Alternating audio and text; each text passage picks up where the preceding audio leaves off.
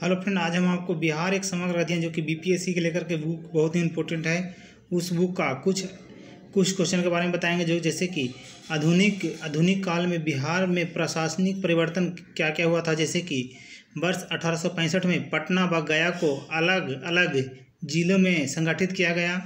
वर्ष अठारह सौ छियासठ में सारण ज़िले को पृथक कर चंपारण ज़िले का निर्माण किया गया।